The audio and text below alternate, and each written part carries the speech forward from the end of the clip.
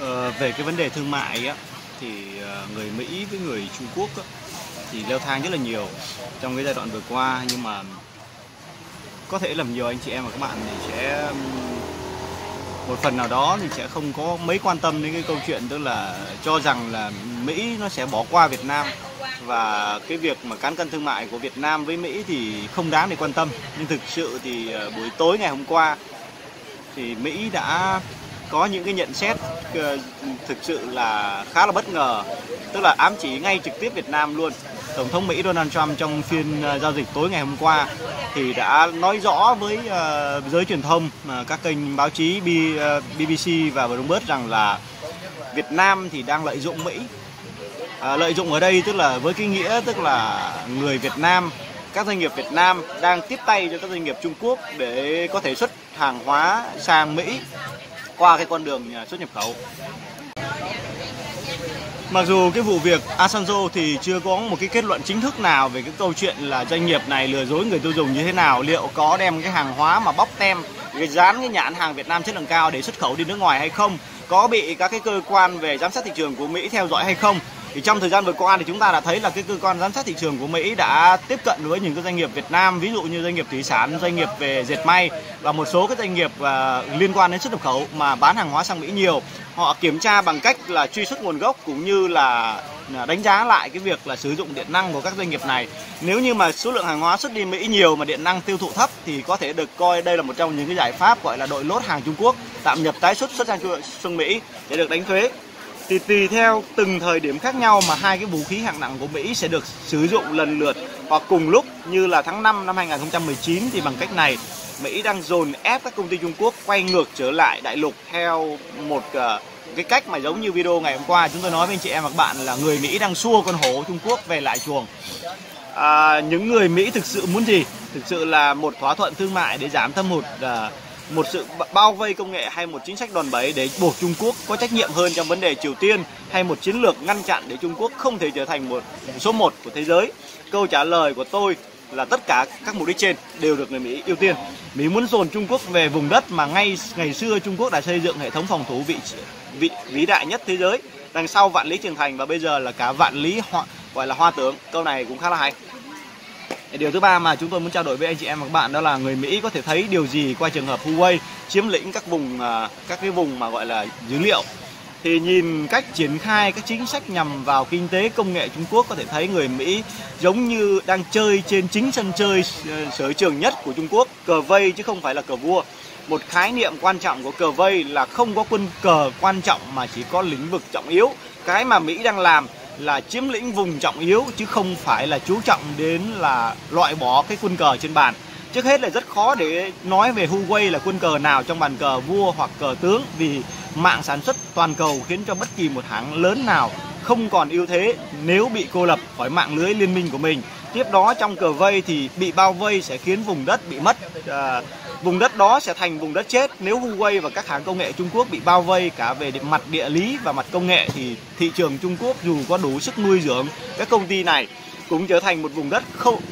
vùng đất thực sự là không có sinh khí và không thể hấp dẫn các nhà khoa học. Hàng đầu trên thế giới dẫn đầu, kinh doanh 5G là một hệ sinh thái đóng góp hơn 500 500 công gọi là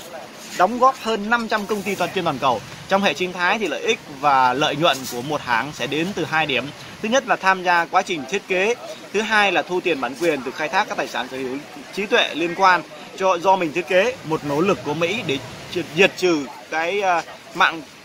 gọi là diệt trừ cái thiết bị mạng Trung Quốc khỏi mạng phương Tây sẽ hạn chế dấu chân của 5G tại, tại cái công ty Huawei này và tại cái nền kinh tế trên thế giới. Một điểm chúng ta cần phải lưu ý hơn đó là khi mà sử dụng cái chiến lược cờ vây ấy, thì có sẽ có một số quân cờ sẽ vương vãi sang một số nước khu vực. Và đặc biệt là người nước ờ, tức là Việt Nam chúng ta là một trong những cái nước mà sẽ có những quân cờ của Trung Quốc sẽ vương vãi sang. Chúng tôi muốn nói tới đó là cái câu chuyện rất nhiều các doanh nghiệp của Trung Quốc sẽ đội lốt doanh nghiệp Việt Nam sang Việt Nam để thành lập các doanh nghiệp tại các khu công nghiệp. À, họ không sản xuất gì cả họ chỉ thành lập các các cái doanh nghiệp sau đó thì sẽ à, đùn hàng hóa của họ sang các cái doanh nghiệp ờ, à, mở tại Việt Nam và sử dụng cái việc mà ưu đãi thuế hiện tại của Việt Nam để xuất khẩu sang Mỹ. Điều này thì cơ quan giám sát thị trường của Mỹ không hề bỏ qua và cái việc mà tăng trưởng cái tổng sản cái cái, cái lượng xuất khẩu của Việt Nam trong 4 tháng đầu năm 2019 là tăng tới 32% so với cùng kỳ năm 2018 cho thấy rằng là lượng hàng hóa của Việt Nam xuất đi Mỹ đột tăng đột biến. Điều này thì cơ quan giám sát thị trường Mỹ đã cảnh báo trong ba cái lĩnh vực. Thứ nhất là dệt may, thứ hai là thủy sản và thứ ba đó chính là cái lĩnh vực sắt thép đã bị người Mỹ cảnh báo và và đưa cái diện vào cái diện là theo dõi đặc biệt. Bên cạnh đó nữa thì cũng đang đưa Việt Nam vào cái diện là theo dõi về thao túng tiền tệ, tức là sẽ có thể sẽ áp đặt một cái chính sách mới liên quan đến việc Việt Nam liệu có thao túng tiền tệ, liệu có dung túng hoặc là có độ có là là là, là cái quốc gia thứ ba uh, giúp cho Trung Quốc uh, tội gọi là tùn cái hàng của mình mà không xuất được đi Mỹ sang những cái quốc gia khác và chính các doanh nghiệp của Mỹ cũng đang tìm cách để có thể mua được hàng giá rẻ hơn từ các quốc gia thứ ba, đặc biệt là những quốc gia gần Trung Quốc thay vì phải mua từ Trung Quốc với cái mức thuế mà ông ờ, Donald Trump đang áp áp đặt lên tới 25% thì điều thứ tư mà chúng tôi muốn trao đổi và chia sẻ với quý anh chị em và các bạn là hai bên có thể sẽ làm gì để tránh một cái cuộc khủng hoảng bất ngờ. Thực ra thì cái cuộc khủng hoảng này không hề bất ngờ một chút nào cả. Các chiến lược mà được ờ, ông ờ, Donald Trump đưa ra trong suốt 2 năm vừa qua thì đều được đưa vào trong cái cái bản tuyên ngôn nhận chức của ông Donald Trump uh, trong thời gian trước đó. Và tất cả những thứ gì ông Trump đưa ra và muốn làm thì đã và đang làm. Do đó thì ờ, một số cái bình luận mà lựa chọn mà Bắc Kinh có thể làm trong cái cái cái cái cuộc thư chiến này thì có ba bốn vấn đề chúng ta cần phải lưu tâm. Thứ nhất là thất nghiệp thứ hai là nợ tăng cao và thứ ba là chuyển dịch của cái. Thì rõ ràng là chúng ta đang thấy là người Trung Quốc đang chuyển dịch của cái đi các nước trên thế giới rất là nhanh và nó sẽ gây ra những cái bất ngờ trong thời gian sắp tới khi mà cái dòng tiền chuyển dịch từ Trung Quốc đi các nơi nó thể hiện rất rõ trong cái câu chuyện đó là cái đồng tiền số BTC À, Bitcoin đã tăng giá rất là nhanh trong vòng có khoảng 5 tháng gần đây từ mức tăng 3.800 mà hiện tại trong ngày giao dịch tối hôm qua đã chạm cái mốc 13.000 đô la Mỹ trên một Bitcoin. Đây là cái điều mà nhiều anh chị em và các bạn đã có những cái dự báo trước đó. Nhưng mà cái nguyên nhân chủ chốt liên quan đến việc Bitcoin tăng giá mạnh mẽ như vậy chủ yếu đến từ việc dịch chuyển đồng tiền của người Trung Quốc đi các nước khác việc mà cái cơ quan ờ, gọi là quản lý về chính sách tiền tệ của Trung Quốc ờ, quản lý dòng tiền ờ, đi khỏi quốc gia thì không, rất khó để có thể đưa được cái đồng nhân dân tệ đổi, quy đổi thành đô la để chuyển đi các nước khác. Tuy vậy thì việc dòng tiền mua vào Bitcoin và sau đấy đi và đi các nước khác chuyển đổi là một điều hoàn toàn rất là dễ dàng. Nên cái nhu cầu mua Bitcoin trong thời gian vừa qua đã tăng lên đột biến, dẫn đến câu chuyện là giá Bitcoin trong năm 2016 thì tụt giảm về mức 3.200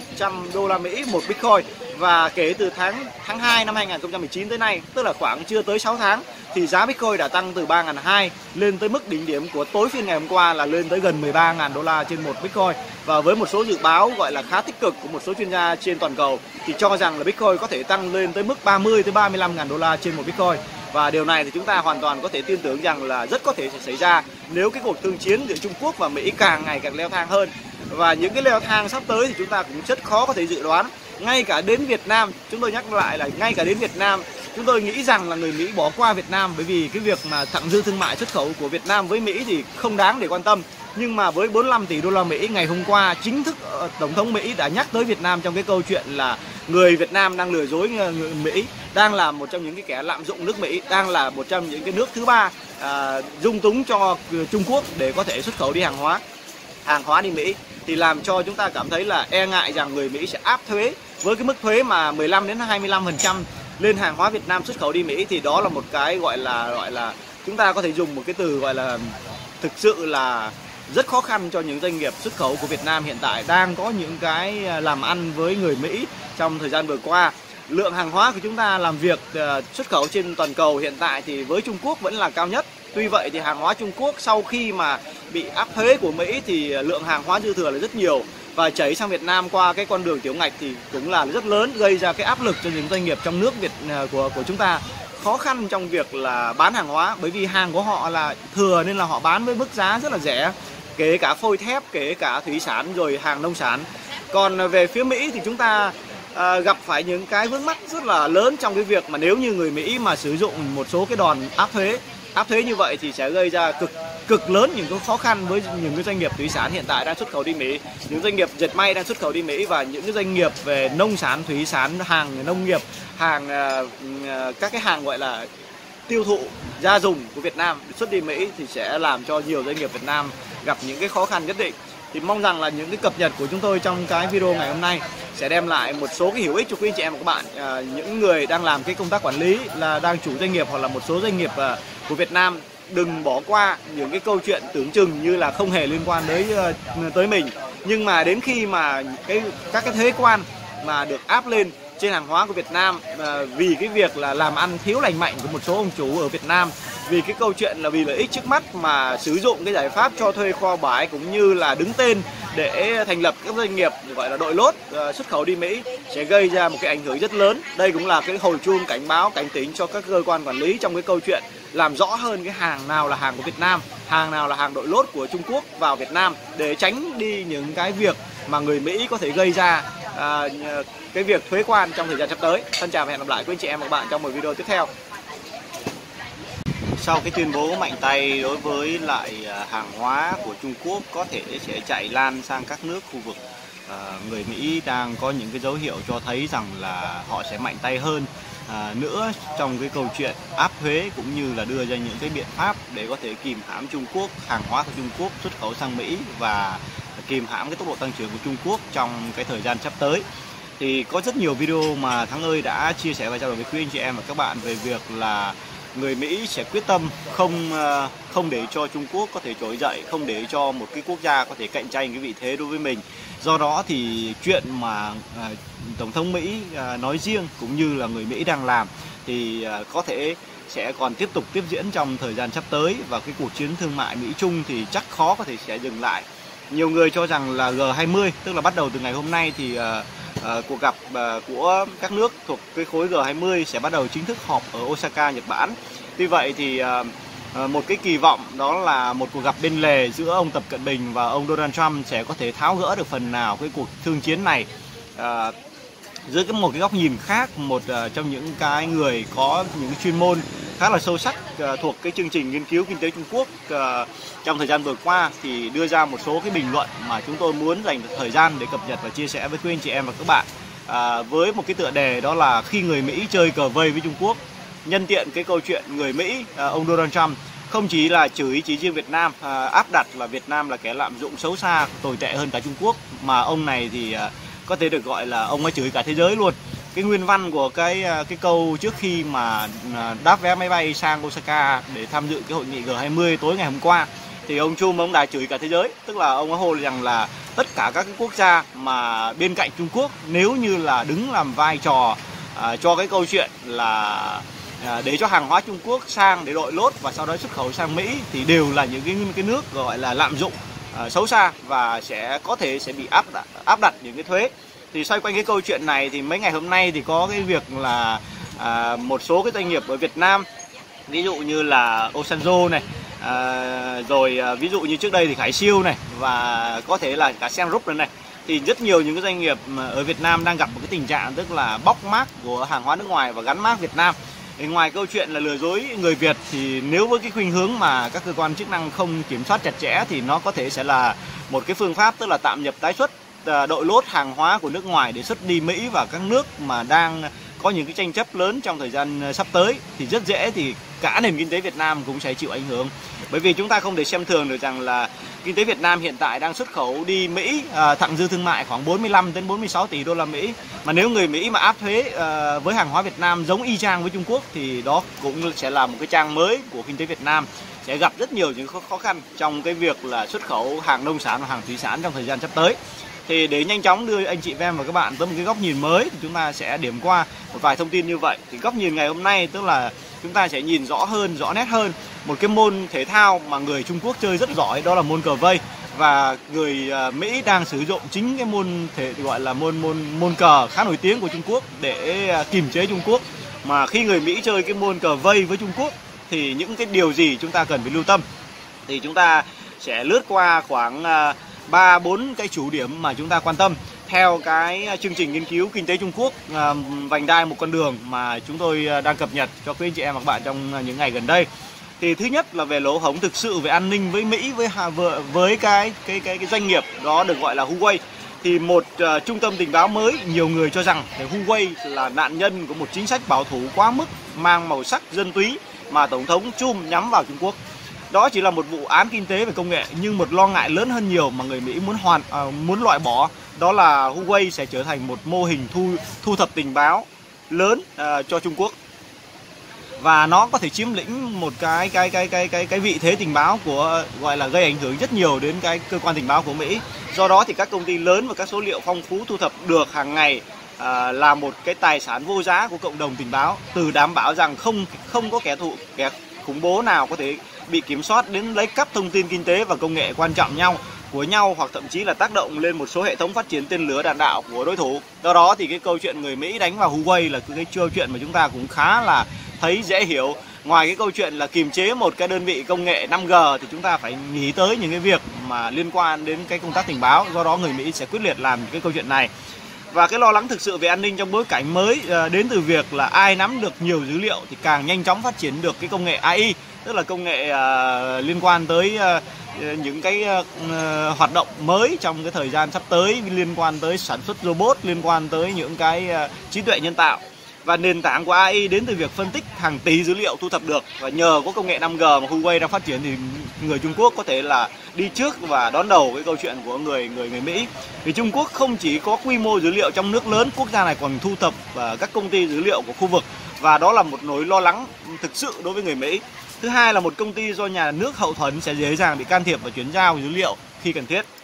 thì tất cả chúng ta hiện nay những người ngồi trước máy tính đều hứng hứng lợi từ sự ra đời của internet chúng ta cũng sử dụng có thể tra cứu đường đường đi bằng Google Maps. À, rồi chúng ta có thể đặt hàng Grab hay là à, sử dụng à, những cái công nghệ à, mới để có thể đi lại rất là thuận tiện. Đây à, là đều là những cái sản phẩm nghiên cứu và ứng dụng đầu tiên à, về về về về về à, gọi ứng dụng khoa học công nghệ trong cái đời sống hàng ngày. Ngoài ra thì à, có một cái hệ thống mà chúng ta vẫn không không không mấy người để ý đó là hệ thống định vị à, uh, GB uh, à, GPS uh, internet và GPS đều là sản phẩm nghiên cứu ứng dụng đầu tiên trong phòng ờ, trong cái việc là quốc phòng của Mỹ. Thì điều gì sẽ đến nếu các hãng công nghệ của Trung Quốc sẽ đứng sau hoạt động kinh tế toàn cầu thường ngày và Mỹ không còn là thủ lĩnh trong tình báo? À, đối với NATO và tác tác động tới cái khối ờ, khối NATO. Bởi vì là khi mà Trung Quốc có nhiều dữ liệu hơn thì Trung Quốc sẽ đứng lên là cái vai trò chủ chốt trong nền kinh tế trong thời gian sắp tới. Nước Mỹ sẽ khó có thể chấp nhận được cái điều này. Đó là điều thứ nhất mà chúng ta nói tới cái câu chuyện kiềm chế Huawei. Không chỉ vấn đề kinh tế mà chúng ta còn phải nói tới câu chuyện tình báo. Vấn đề thứ hai là Huawei không phải là con dê thần. Đó là một ờ, phần chiến lược tổng thể. Đúng là như vậy. Huawei hay công nghệ 5G đứng đằng sau không phải là đích bắn duy nhất của Mỹ. Nói cách khác, Huawei không phải là con dê tế thần khi Trung Quốc hủy kèo đàm phán vào tháng 5 năm 2019, giống như là ZTE đã bị trừng phạt vào tháng 4 năm 2018 khi Trung Quốc không chịu thực hiện cam kết giảm thâm hụt thương mại. Nếu theo dõi những chuyển động chính sách của nhà nước của Nhà Trắng trong một năm qua, có thể thấy Mỹ đang đồng thời gây sức ép lên Trung Quốc qua cả hai kênh, kênh thuế quan và các biện pháp hành chính do dần hé lộ việc Washington đã mất niềm tin và sự kiên nhẫn đối với Bắc Kinh nên đã chuyển từ cách tiếp cận mang tính can dự sang các cái chính sách khác liên quan đến vấn đề ngăn chặn. Về vũ khí kiểm soát hàng ờ, mang tính hành chính, hai nhóm chính sách được Mỹ sử dụng. Thứ nhất đó là khôi phục và tăng tăng quyền hạn cho Ủy ban quản lý đầu tư nước ngoài của Hoa Kỳ trao cho ủy ban này quyền theo dõi và chặn đứng các hoạt động đầu tư mua sắm của các công ty Trung Quốc trên đất Mỹ. Thứ hai là nhóm các chính sách cấm đoán như lệnh cấm tiếp cận công nghệ, cấm mua bán với công ty Mỹ, lệnh cấm xuất khẩu đối với các công ty có liên quan làm ăn với Trung Quốc, vân vân. Đó là những cái những cái chính sách mà người Mỹ sẽ dùng trong thời gian sắp tới. Vào tháng 8 năm 2018 thì Quốc hội Mỹ đã nhanh chóng thông qua đạo luật ủy quyền tăng cường quốc phòng. Trong đó thì kinh tế có nhiều mục rất quan trọng liên quan đến CFIUS và trong đó, và cái mục 1701 thì thắt chặt đầu tư nước ngoài và xuất khẩu chiến lược. Mục 1771 thì đạo luật cải cách kiểm soát xuất khẩu. Và năm năm 2018 thì đạo luật kiểm soát xuất khẩu năm 2018 và đạo luật chống tẩy chay năm 2018 mục 1758 sự thay đổi đáng chú ý nhất là chỉ đạo việc kiểm thiết uh, thiết lập các biện pháp kiểm soát xuất khẩu đối với các công công ty công nghệ cơ bản và nới và, và vào các thị trường mới nổi được xác định là cần thiết cho an ninh quốc gia bởi vì là cái ủy ban này xác xác nhận rằng là ZTE, Huawei là những nguy cơ an ninh. Trên thực tế thì các biện pháp kiểm soát hành chính hành chính đã được tiến hành từ tháng 4 năm 2018.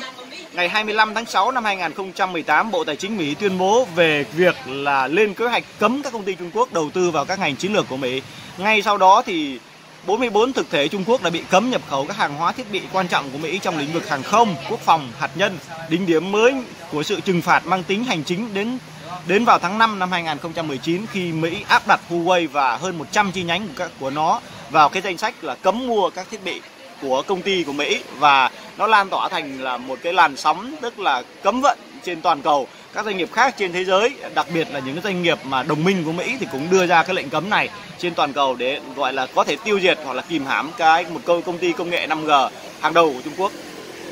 về vũ khí và thuế quan thì 250 tỷ đô la hàng hóa Trung Quốc xuất khẩu sang Mỹ đã phải chịu thêm mức thuế 25% kể từ ngày 10 tháng 5 năm 2019. Các hàng hóa Trung Quốc đội lốt một nước thứ ba cũng bị trục xuất nguồn gốc gắt gao và bị đạo luật về thuế chống lẩn lấn tránh truy lùng. Đây là một trong những cái đạo luật mà người Việt Nam cần phải quan tâm. Bởi vì những cái hàng hóa mà đạo, đội lốt Trung Quốc đó là cái cách đó là tạm nhập tái xuất bán sang những nước gọi là liên quan liên quan ví dụ như là Campuchia, Lào, Việt Nam, Singapore, Đài Loan, Hồng Kông hoặc là Nhật Bản đều sẽ được ờ, một số cái đạo luật của chu của của Mỹ và một số cơ quan giám sát thị trường của Mỹ sẽ theo dõi rất là giáp.